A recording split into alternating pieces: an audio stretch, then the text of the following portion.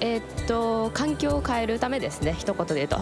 いろいろ変わりました。生活も引っ越しましたしまあ全て変わりました。ツイッターなんかではですねよく見る子はやっぱ飯山選手の。そうそうですねはい。お世話になってます。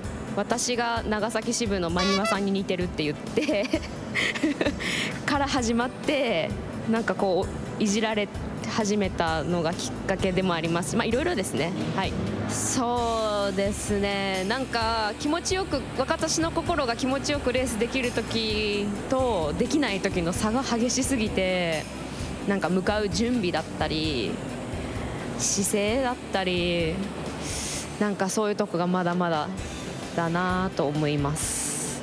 でもかなり助けてもらってます。毎節節が終わるごとにはいなんか助けてもらってます。